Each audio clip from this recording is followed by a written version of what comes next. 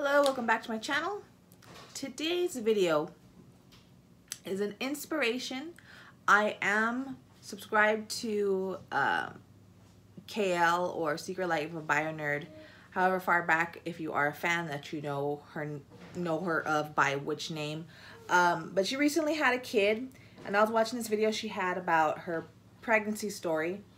And she was like, well, why don't you share? So that made me think about my pregnancy story, which I'm going to give right now. I think it's, I'll, I'll call it a pessimist guide to pregnancy because I'm not saying I'm the most negative person, but I always found this to be funny, and I did always have this in the back of my mind to do a story time about my pregnancies, and I'll try my best to keep it under 20 minutes. For God, for God's sakes, I will try my best. But I, you know, I always see these videos, and they're mostly celebrities, and I know they're blowing smoke up my ass or anybody's ass.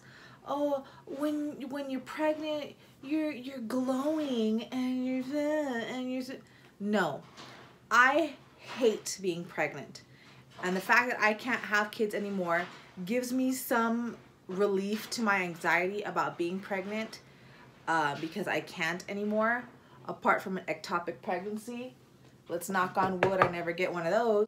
I was a young, young mother. Um, I wasn't that far out of high school when I had my first son. I got pregnant when I was 19. Um, if you're wondering, my husband's the father of all my children, so yeah. Um, I was 19. I was in college, had a job, my apartment, my boyfriend, husband, whatever you call him back then or whatever. My future husband, there you go. Um, I got pregnant. And I will say for both pregnancies, in my case, and this also goes back to like those Facebook videos of like the montages of like people telling their families in really cute ways that they're gonna have a baby and the grandparents or they're like everyone's just crying like when i get pregnant no one gives a shit honest to god or they're not that enthusiastic they're just kind of like that's swell um so yeah when i was 19 obviously my mother did not want that for me but i will say i made it out of high school not pregnant so i guess i kind of won there in a sense um, I told my mother and my stepfather. I remember they were painting the bathroom in their room and they were shocked and my mother was crying. She was so upset. Uh, but in the end, they congratulated us, whatever, whatever. Um, you know, my husband's parents obviously were shocked. I don't know what happened behind the scenes, but with us, they were they were very loving and very welcoming and forgiving, and and that was nice. I wasn't met with tears or anger on their end. Um, but yeah, um, I didn't know what to expect. I gained a shitload of weight with my first son. I had always been a stick up until that point. I ate whatever I want and I just burned it like that. Um, and then when I got pregnant with my first son, it completely reconfigured my whole metabolism and I gained like 30 pounds. Um, and I, I never got back down on my pre-pregnancy weight or even even maybe I got at my lowest, I got within 15 pounds of my pre-pregnancy weight, but that was very, very short-lived. Um, and then, you know, when I had my first son, I was like a week over 40 weeks because you're supposed to have your baby around 39, 40 weeks when you're pregnant. And I was like a week over. And I'm, I remember being like, oh my God, like, I just, I just don't want to be pregnant anymore it was awful. I everything swells when you're pregnant. Your feet swell. I got fatter. Um, like clothes just didn't fit me anymore. Um, you just I'm just bloated. I was always flushed. I had like this pregnancy rosacea on my cheeks. My skin went to hell. Um, like it was, I was just bloated. You know, your nose gets a lot bigger in your pregnancy. For some for some reason, your feet and your nose really swell a lot for the majority. Now, of course, there's some women who are like unicorns and nothing bad happens to them ever. Um, I was when I was pregnant. I was also very very obsessed with watching Um, at the time when I was living in my apartment, oh, I would watch some show on, on Discovery Channel, and it was a pregnancy mo- modeling agency that only dealt with pregnancy women. I, I forgot what it was called, but I would watch this show religiously because they would show it like every day, like an hour episode. I really don't know if they were reruns or not, but I watched that show obsessively every single day before I went to work. Um, so I mean, like, I was always confused, like, why am I not perfect like these pregnant models in this show? I mean, they didn't have stretch marks. Uh, I mean, literally, like, my my body was just completely. It, it changed into something else. You know what I mean?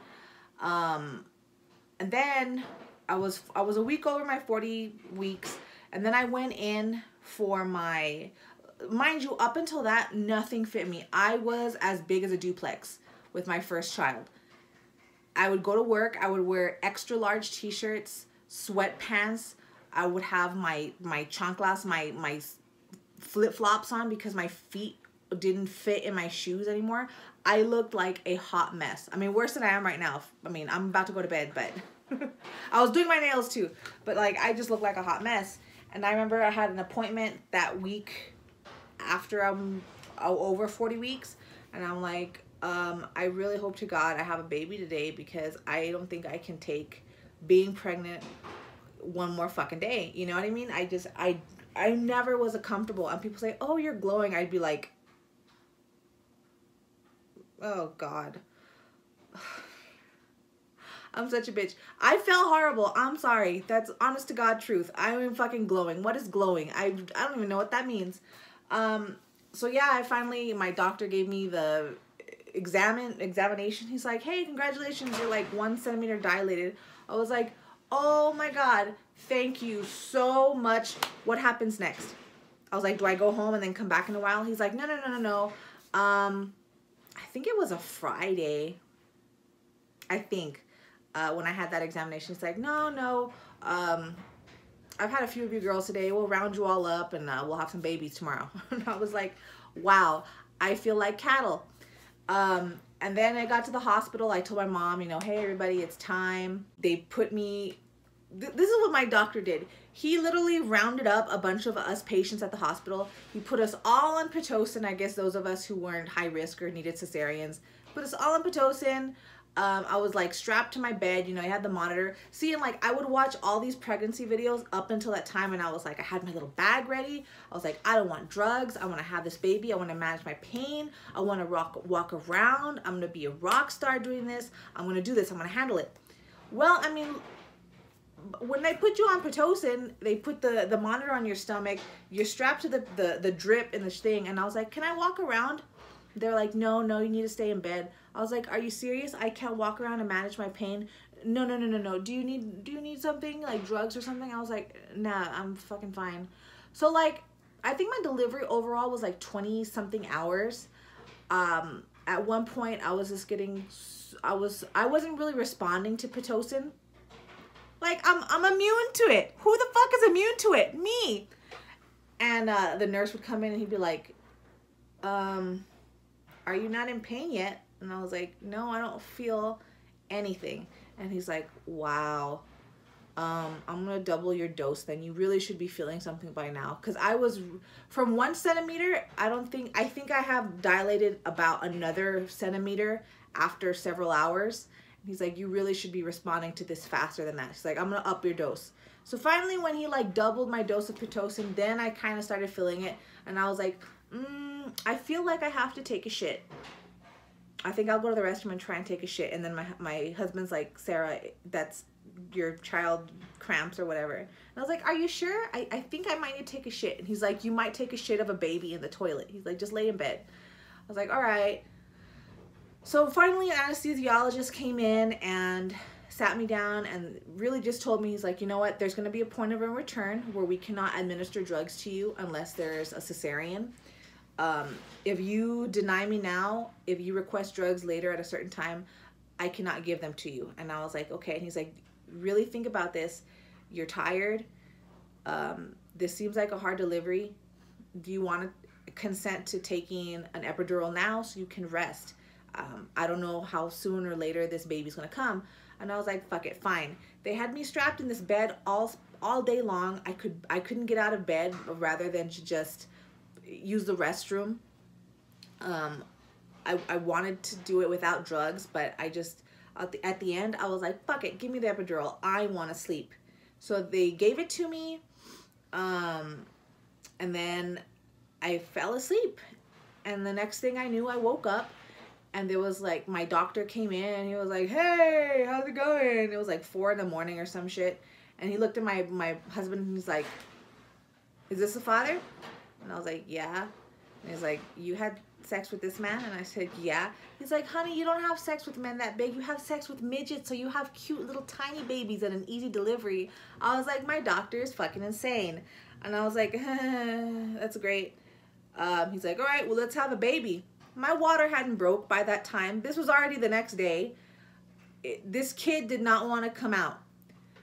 I had the slowest fucking labor probably of all time. I don't know. So they broke my water. It, it literally felt like someone popped the water balloon and all this water just gushed out. And I was like, hey, so that's what it's like to. I mean, everyone did everything for me. My body did nothing naturally. It's like it didn't know what to do. Obviously, you know, my first time being a mother, but you would think you would have some kind of internal instinct that would kick in, right? No, my body was just like, hey, I don't know what's happening. You go ahead and take the wheel, doctor. Um, so, and I'm so glad I did consent to the epidural because uh, I find out later in life that I have really narrow hips.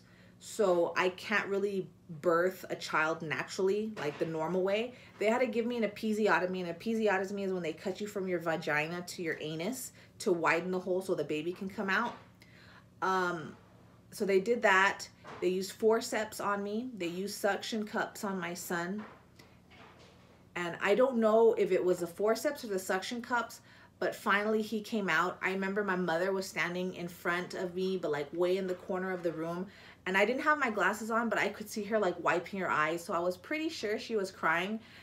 and later on she told me, she's like, you don't know what I saw, what they did to you. And I was like, oh, she's like, and then I think I shitted myself too, which happens also when you're trying to push a baby out, which is why they really don't want you to eat when you're pregnant because you're going to be digesting food. I did, my mom said, she's like, I think you shitted yourself. And I was like, I don't care. I was asleep. I hope someone cleaned up my poop. I was like, whatever. And then, um, what else? So yeah, I'm sure she saw all kinds of horrific shit come out of me when they cut me. Um, so they finally got my son out. And then when they finally pulled him out, I was like, are you serious? They finally pulled him out. And then they like just plopped him on this metal table. And I was like, I, I mean, I didn't have my glasses on, but I was like squinting like, yo, is that a baby? you know what I mean? Did you just pull a baby out of me? Um, yeah, they did. And for a while, he I didn't see him moving or making a noise. So I was like, hey, hey. It's like, why my baby not making noise? And then they took him to the little table, you know, with the light on it, and they cleaned him up. And then I heard him cry, and I was like, oh, okay, thank God. Um, and then, you know, they stitched me up.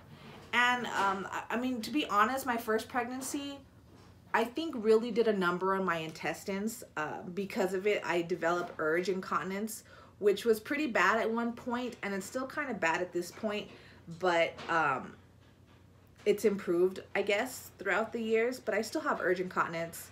Um, I even got as far as to almost getting Botox injections in my bladder so I could control it, but I opted out of that. I was like, this shit's getting too crazy, like, like whatever, you know?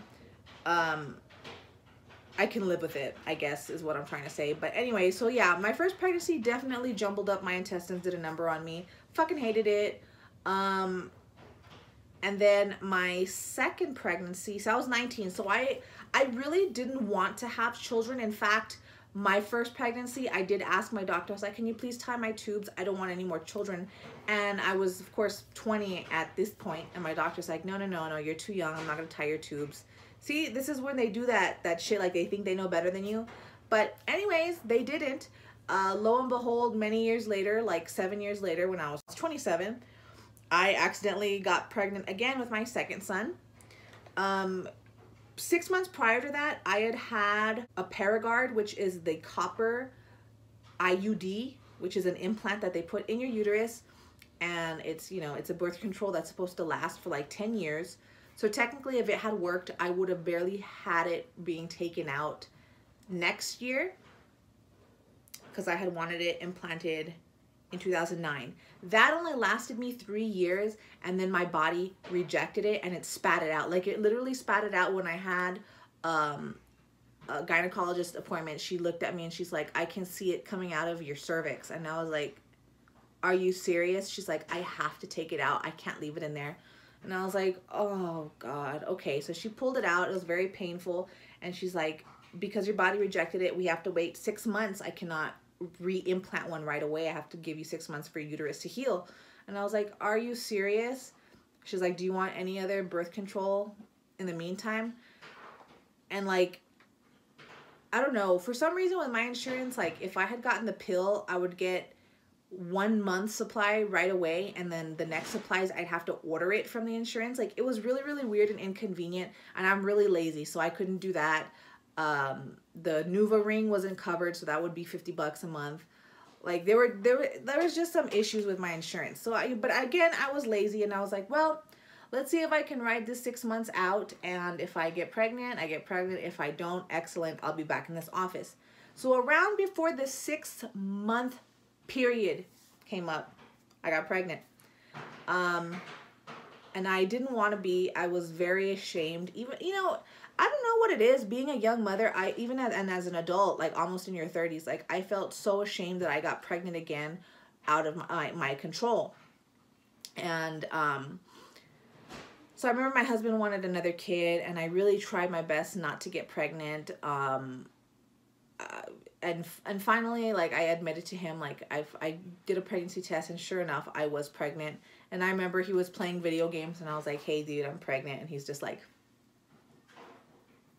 and I was like, because I kind of knew what I was in store for. I was like, I'm going to gain another 30 pounds. I'm going to fucking die. Like, I can't be that heavy. Um, but I mean, this odd enough, this last pregnancy, I only gained five pounds. So I was still back to my, I guess, normal weight that I had kind of been used to up until that point. So that was good. I was just like so ashamed again. I didn't want any more children, but I was like, whatever. At least now I know for sure if I ask to get my tubes tied, they will be tied because I'm old enough and this will be my second child. So sure enough, they did. But I mean, like, again, going back to the part with when I'm pregnant, no one gives a shit. It's not like these wonderful Facebook moments. Like, nobody really gives a shit when I'm fucking pregnant. Um, so I had told my stepdad, I was like, because up until then, I, I was telling them, I think I'm pregnant, but I'm not sure yet. And they're like, okay, I hope it's a girl. Because, like, everyone in my family has boys. Like, literally. We don't have any girls. And every time someone's pregnant, it's a boy. I don't know what it is. But I told, remember I told my stepdad, and he was like, he's like, I knew it. That's great. And then he walked off and I was like, okay. And then I think I told my mom and she's like, that's nice, Mija. I hope it's a girl. It's like, aren't you supposed to cry or something like these grandparents on Facebook? Like, I don't, um, I don't remember what my grandmother said. It was probably something like not really overly enthusiastic. And then I don't remember what my husband's parents said. Again, it probably wasn't overly enthusiastic. Everyone was just like, that's nice. Like, hey, I got a new car. Hey, that's great. Hey, I'm pregnant. That's nice. That's pretty much how everyone reacts to my pregnancies. Um, so yeah, with my second child, uh, since at that point, I was still at the same clinic with the same nurse practitioner and doctors, doctor group. Um, you know, they still had my file and they're like, okay, well, this next pregnancy, definitely you're going to have to have a cesarean because um, I don't think your birth canal or your hips could take having another child naturally. Um, so you're gonna have to cesarean. So I had my cesarean scheduled. I went through my whole pregnancy, you know, it was fine. The only thing is like I noticed my back would give out a lot more. Like if I try to clean the house a lot, by the end of the night my back would be like on fire. Like it would it was hurting. So when I would go to work the next day, even though like I sat in my chair a lot, I would be super, super, super uncomfortable, in pain. Um, it was it was a different pregnancy. Just I, I just I could feel it a little more wear and tear on my body. Um, and then but just, and then of course with both pregnancies I never got nauseous or anything. The only time I would get nauseous is if I took my prenatal vitamins without having food first. They would immediately make me throw up, and that happened to me quite a few times. I would forget to eat, and I'd take them, and I would just vomit it all up. It was so. And I had my second son via cesarean. It was all planned, so at least that was nice. At least he was on time, unlike my other son who just didn't want to come out. That that went all right. Um, and I had uh, again except with this pregnancy i had you know a little more access to youtube. So i would watch some pretty fucked up shit about pregnant women. I would watch a lot of stillbirths a lot of um, you know things like that like babies that would die or be premature and they would pass away. So i was really setting myself up for a whole lot of worries before i had my second son. And i don't know why like i just started getting obsessed with stillbirths and stuff like that. Um, so I I had him via cesarean, and I remember I told my doctor while she was like she had me open and they had like my uterus out. You know, like they pull your guts out when you're having cesarean. They're like, oh, let me let me get your intestines out let me clean out this this this uterus. I need to clean it. Um, and I was like, hey, are, are you tying my tubes now? She's like, yes, we're tying your tubes. And I was like, all right. And then I remember I told my husband, because they when you have a cesarean like you're like this on a like a tea table and you're all numb from the waist down and they have like a sheet in front of you so you can't see over and see them cutting open your guts and pulling out a baby. So i told my husband i was like hey man um, don't look over the sheet because you won't like what you see. What does my husband do? He gets up and looks over the sheet and he comes back down. He's like his his face is pale right? Like the color just completely goes out. He's like I, I looked over the sheet and I said, What did you learn? And he was all, I was like, I told you not to look over the sheet. I go, I was like, How are my insides? He was just like, Shut up. I told him, Don't look over the sheets. You'll regret it. Anyways, he didn't quite pass out. And then they pulled my son out and he was crying immediately and it was very nice and i did get kind of teary-eyed because i was like oh my god i've waited nine months to meet you and i'm not pregnant anymore. I was like yay! He was cute though. Super cute. Um, i will say with the cesarean that was another kind of hell because since they numb you from the waist down that shuts down all your digestive system and like everything down there shuts down right so as you're trying to like get the drugs out of your system, you have a very hard time pooping the next day, passing gas, just like burp, like anything just to get burp or waste out is completely shut down. So I didn't sleep for 24 hours straight. It was hell on earth. Um, I couldn't poop. I couldn't. I mean, like I said, like like you think, oh, that sounds great. No, honestly, when you can't pass gas or poop, it is excruciating pain. I'd say excruciating is is maybe an understatement uh, compared to what I experienced. Um, the nurses were like, "Okay, take prune juice. We'll give you laxative. I'll order a suppository for you." And this one nurse, she was so cool. Both of my nurses were like Caribbean ladies, but one nurse, she was the shit. I loved her so much. She was like, okay, well, I'm going to go home for my shift. I already ordered a suppository for you because up until that point, like, I was I remember there would be like gas in my system that wanted to come out and I would see it in my stomach since I didn't have muscle control to pass gas or to even go number two, it would bubble in my stomach and I could see peaks forming on the on my skin like where my stomach and intestines were. Like little peaks would form because the gas couldn't escape. You have no idea how painful that is. It is absolute hell on earth.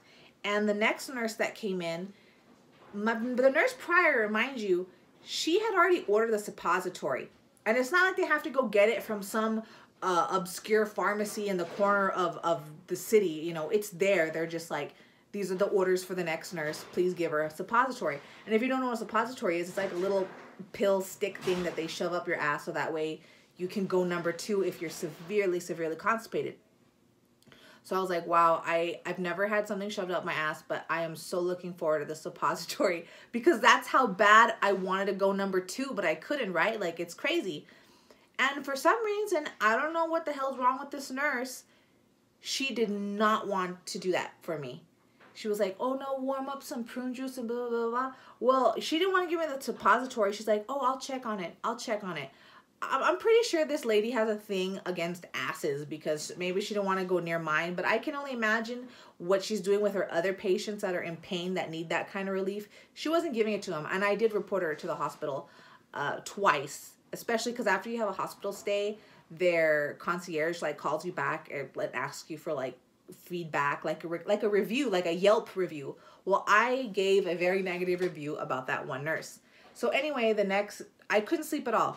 24 hours, I'm in so much pain. Sleep is damn near impossible. So my nurse, the same one, comes back in the morning and she comes in all bubbly. Hey, how did it go? Did you sleep well? And I have no color in my face. I have dark bags. I'm fucking dying, right? And I told her, I haven't slept a wink. I'm in so much pain. I can't go number two. I can't pass gas. And then she looks at me like puzzled, like, I, I don't understand. I ordered a suppository. And I go, the nurse kept checking on it and she never gave it to me. Like, she didn't know what was going on. And she's like, okay, I'll be right back. So she goes and gets it. It takes her less than 10 seconds. She's like, pull your pants down. Um, you know, she puts her glove on. She puts it up, less than 10 seconds. And she's like, I don't know why that nurse didn't give it to you.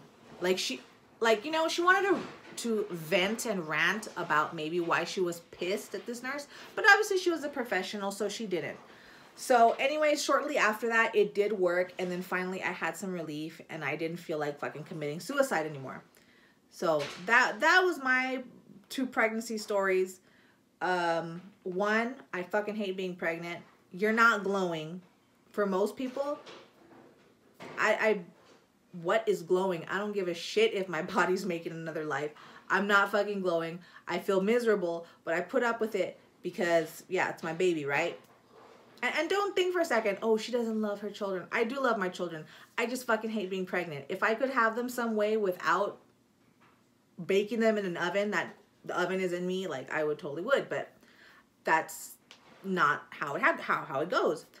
Um, no one gives a shit when I'm pregnant, and uh, yeah, all pregnancies, both my pregnancies were pretty fucking bad, and they left me pretty mangled.